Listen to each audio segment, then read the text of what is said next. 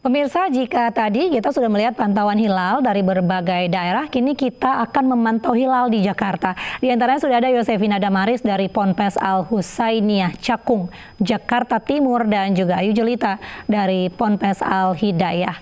Ya, kita ke Cakung terlebih dahulu. Yosi, bagaimana pantauan hilal di sana saat ini?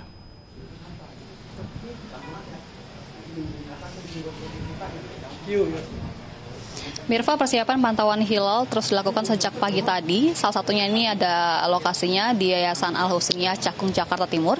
Di sini ada dua metode yang digunakan yakni metode hisap ataupun perhitungan secara astronomi. Di sini dibantu alat ataupun uh, teleskop teodolit seperti yang bisa dilihat di samping saya.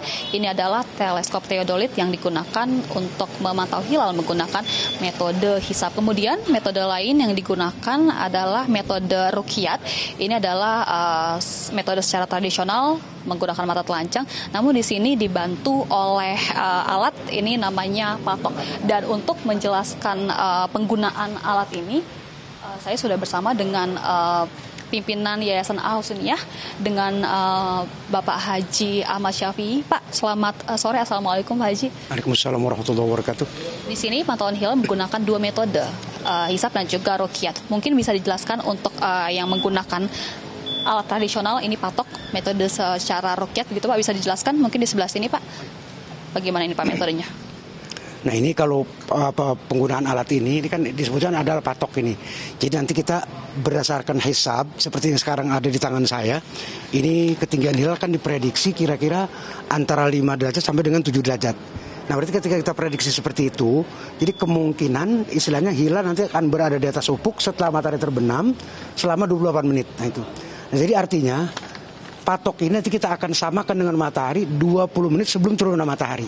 Nah kalau kita udah pasin seperti itu, jadi kita udah pasin kayak tadi, nah maka ini kita nggak kita nggak roba-roba lagi. Jadi kita tinggal tunggu matahari terbenam aja. Nah pas matahari terbenam, maka kita akan laksanakan lihat dari sini. Kita akan pantau dari sini. Nah berarti nanti itu ketinggian hilal ada yang di situ. Nah nanti karena di sini ada ada azimut artinya apa namanya jarak hilal dari matahari. Nah ini diperkirakan untuk sore hari ini jarak hilal itu adalah dua derajat di sebelah kiri matahari. Jadi berarti nanti ketika kita pantau dari sini, ketinggiannya ikutin di sini, nah kita cari agak ke kiri sini. Jadi kira dua derajatan. Nah insya Allah hilal akan akan berada di situ. Ini cara menggunakan alat uh, alat patok yang kayak gitu. gitu. Setelah menggunakan metode roket nantinya akan uh, disempurnakan menggunakan metode hisap begitu Pak? Ya, jadi ketika kita udah lihat dengan mata telanjang, maka kita untuk memperjelasnya kita akan gunakan alat ini. Ini yang disebut dengan teori. Jadi untuk untuk memperjelas aja ini dia, perjelas aja selain uh, metode begitu, uh, faktor lain untuk penentuan uh, hilal adalah cuaca dan ketinggian. Untuk cuaca uh, saat ini seperti apa, Pak?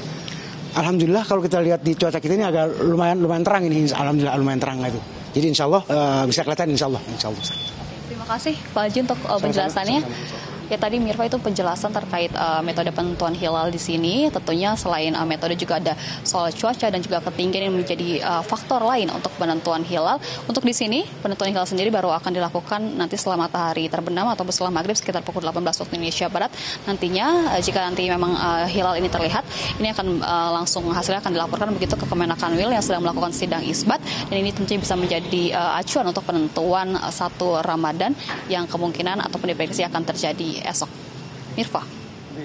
Ya baik, terima kasih Yosi. Selanjutnya kita ke Ponpes Al Hidayah. Sudah ada rekan Ayu Jelita. Ya Ayu, bagaimana pemantauan hilal di sana saat ini? Baik, terima kasih Mirfa. Hingga saat ini dari lembaga Al-Fakiyah yang terletak di pesantren Al-Hidayah masih terus melakukan pemantauan hilal sejak siang hari tadi. Dan menurut informasi yang kami peroleh, hilal akan terlihat yaitu pada pukul 17 lewat 46 menit waktu Indonesia bagian Barat. Atau hilal ini dapat terlihat setelah matahari terbenam atau ibaratnya uh, setelah sholat maghrib dilaksanakan.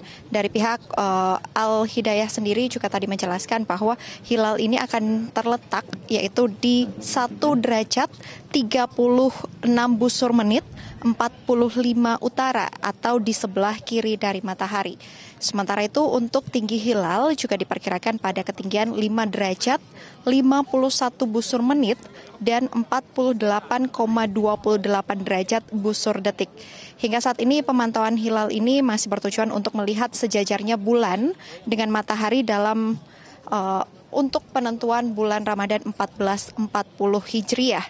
Dan menurut informasi yang kami peroleh hingga saat ini sudah ada empat titik untuk melihat uh, apakah hilal ini akan muncul pada hari Minggu yaitu tanggal 5 Mei 2019.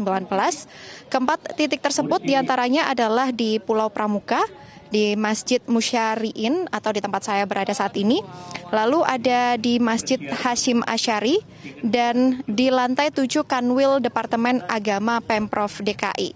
Dan menurut informasi yang kami peroleh juga hingga saat ini uh, dari pihak pesantren sendiri juga nantinya akan memberikan informasi ke Kementerian Agama apabila hilal ini sudah muncul yang diperkirakan pada pukul 17 lewat 46 menit.